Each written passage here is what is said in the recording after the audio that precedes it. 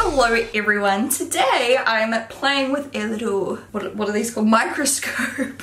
wow Shannon, well done. I bought this off Amazon. I actually saw another video similar to this and it inspired me to grab a microphone I mean, microscope. Oh, what is wrong with me? I've actually looked at microscopes many a times just because I've always wanted one because I'm just one of those weird people that loves looking at stuff up close. But when I saw someone using it for skincare, I was like, holy shit, that's such a good idea. I can't remember who it was off the top of my head, but I will friggin' hunt the universe until I find the link and put it below for you so I can credit them. So I've got this plugged into my computer and we're going to try some skincare under a microscope today and see like a before and after see if it actually works. I'm nervous. My skin is a little bit shit right now like I can feel the bumps on my nose. So the very first thing we will be trying are these pore strips I bought off Wish yeah wish you guys already know i'm terrified of trying actual like cosmetics and skincare off wish because like i don't know what the ingredients are whatsoever there is nothing wrong with cosmetics made in china i'm saying that right now like heaps of our favorite brands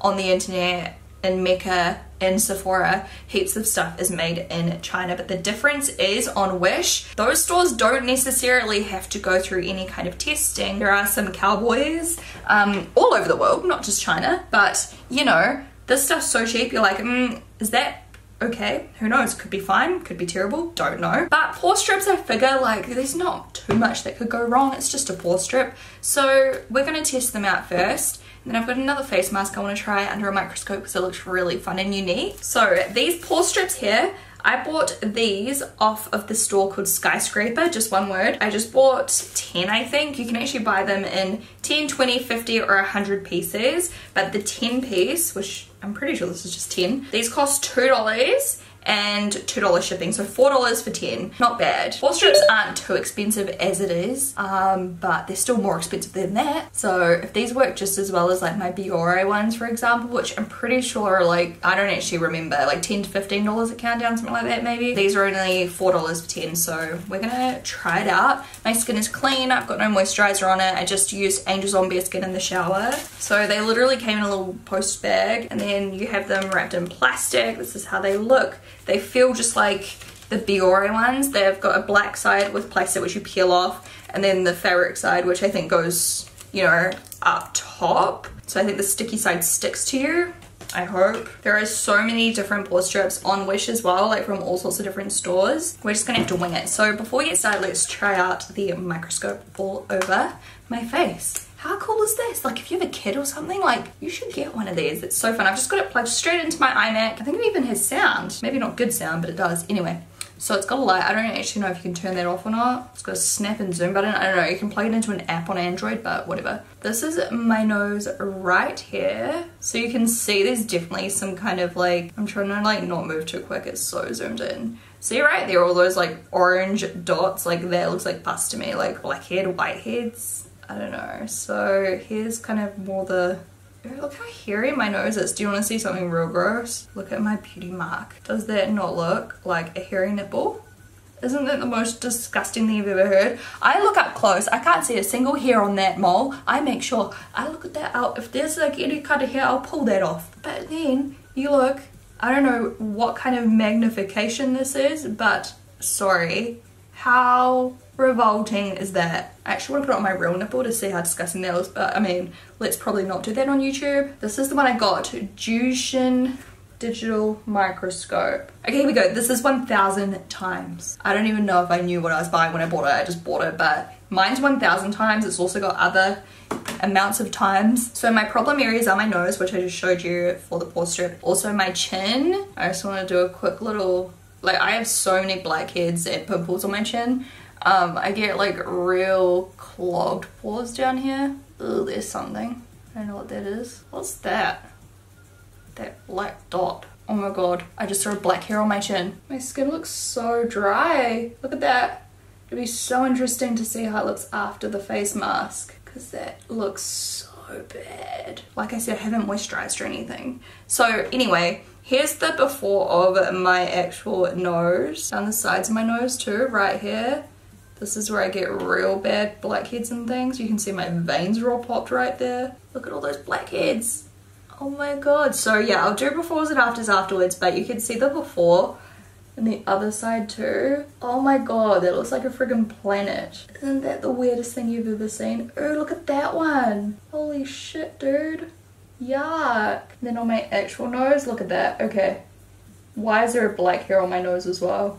That's concerning. So let's do this pore strip and see how well it really performs. Okay, so I've just wet this. I'm just going to wet the area thoroughly. Then we're going to take one of the pore strips, which once again comes on a piece of plastic. Seems very thick. It's like that.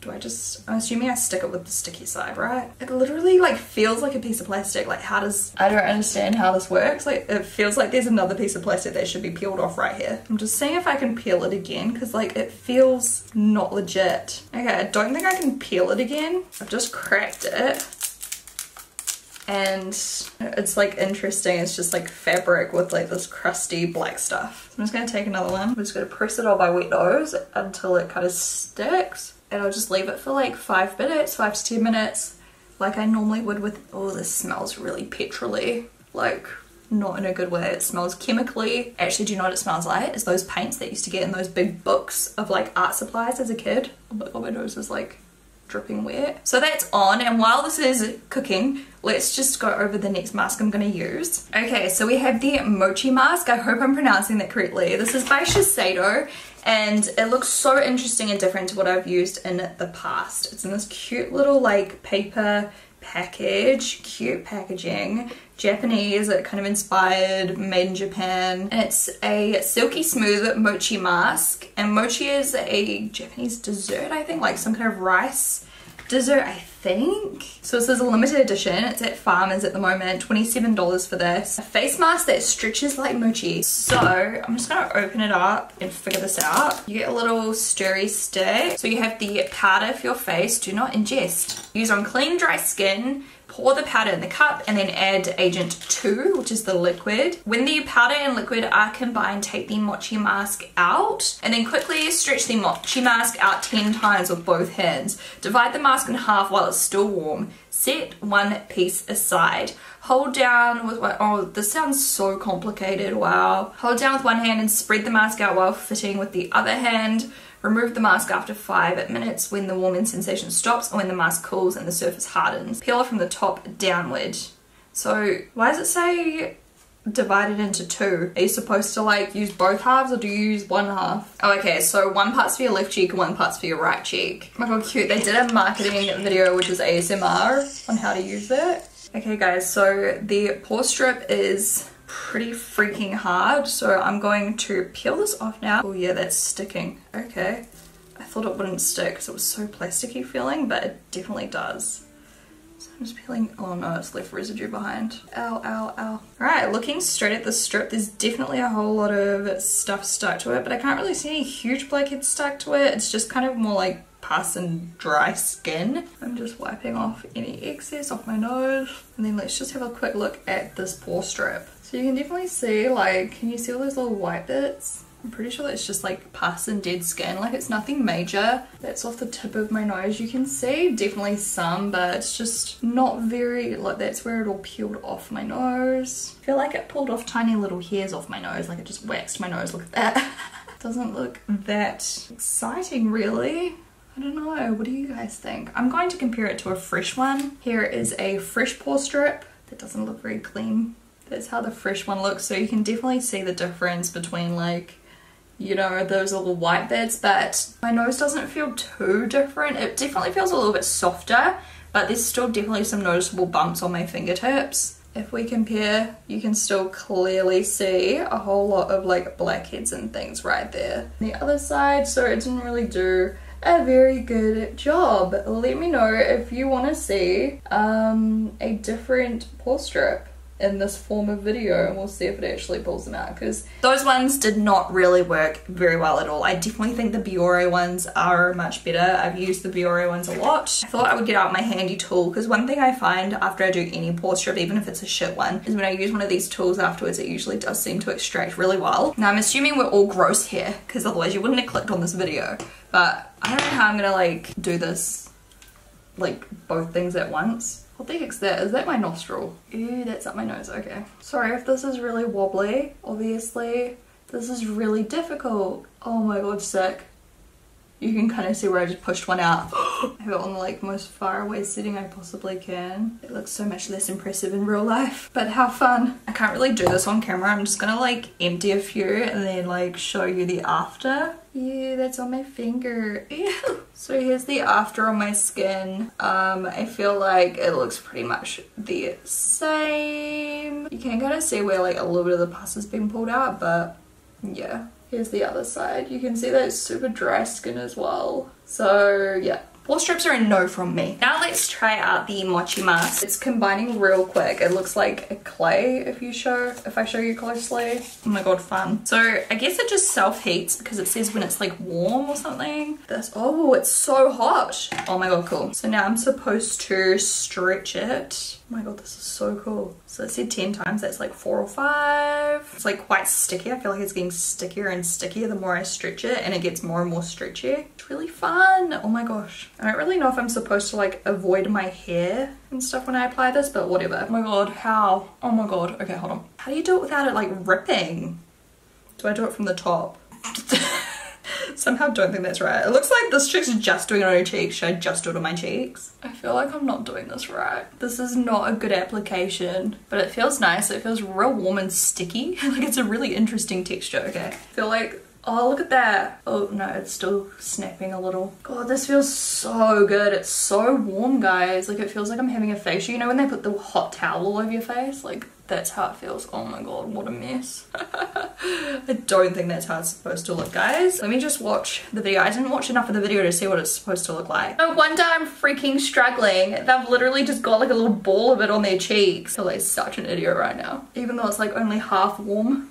You know what? We're gonna do this properly. I'm just an absolute idiot. I'm gonna leave this on until it's cold and I'll be right back. Okay guys, I just peeled it off. That was probably on for about five minutes or so, so it was very quick. Such a random product. Probably one of the most random masks I've ever tried in my entire life. But I have to say like, can you see like right here on my cheekbone? So you can see, like, I feel like I'm glowing. And it feels so nice. It feels a little bit sticky, but in like a nice way, like kind of like when you put on moisturizer or something, like it feels good. So let's have a look through our trusty little microscope. Going straight onto that cheek. Let me just focus it. It looks glossy. Look, my skin literally looks glossy.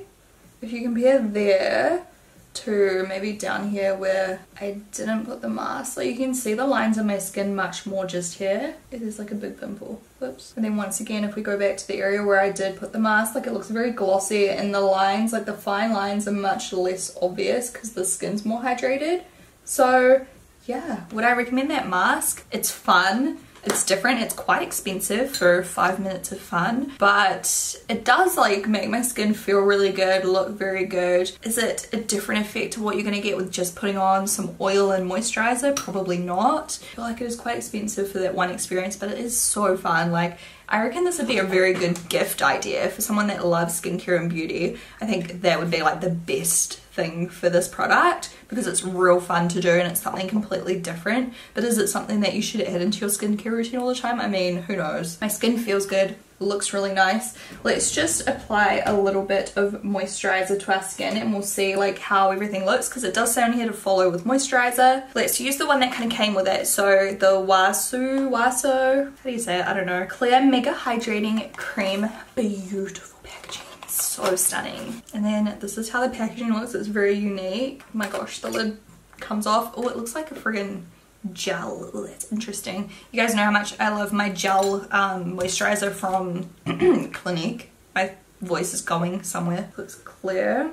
Let's just apply some. Oh, it's so cooling. It feels like a primer. Like it straight up feels like a pore filling primer or something, except it actually soaks into your skin. It doesn't just sit on the top. Feels real good. Mmm, smells good too. But it smells amazing. I feel like this would be very good for dry skin. Like it really soaks in like immediately. It feels so soft. My goodness. Let's have a look under that microscope one more time. Let's see how it looks. You can see like from far away my skin looks very glowy and hydrated. You know what? Like I do feel like the pore mask helped to get rid of a lot of dead skin because my nose feels so much softer now, especially after moisturizing, of course. Duh. Yeah, like I said, they're still not my favorite pore strips whatsoever. Don't think they did a very good job in the close-up microscope. I was gonna say microphone again, I don't know what's wrong with me. So let's have a look. Oh my god, that texture before and after though is absolutely crazy. Holy shit, like look how like buttery smooth and glossy my skin looks now. Like obviously this is freshly moisturized. It's normal to have super fine lines in your skin when it's dehydrated. I didn't moisturize before this video, but you have to like, oh wow, it's crazy. Let's look around the sides of my nose as well, making sure it's like perfectly in focus for you. Like you can still see where those little like blackheady things are, like you can see them real good right there, but like the actual skin texture, oh, look at that one, I just want to pop it. The actual skin texture is just crazy different. Let's look at my forehead. Oh, my goodness. Oh my god, what happens if I like put it on a wrinkle? Look at that, that's my wrinkle. And around my eyes where I have fine lines, like, what does my eyelid look like where all my veins are? Ew, creepy. What does my eyebrow look like? I wish I knew how to like, ooh, look at, those are thick hairs, man. Oh, my eyebrows are so blonde. Obviously, um, there's a light in this. I don't actually think you can turn it off. So like, the actual texture of my skin, the moisturizer is reflecting that light, so that's why it looks so shiny. But like, I'm just shocked at how different the actual texture of my skin is. Like before there was just lines everywhere and now look at it. It's so cool. So obviously like my skin is feeling very hydrated right now. The moisturizer does its job. I do like the feeling of it. It feels very luxurious and do you know what? I feel like this would be a nice one before your makeup because my skin feels a little bit sticky-ish. Do you know what I mean? Like when it feels like tacky, which is like so nice before makeup. So that could be a really good like daytime before your makeup moisturizer or before your tinted moisturizer.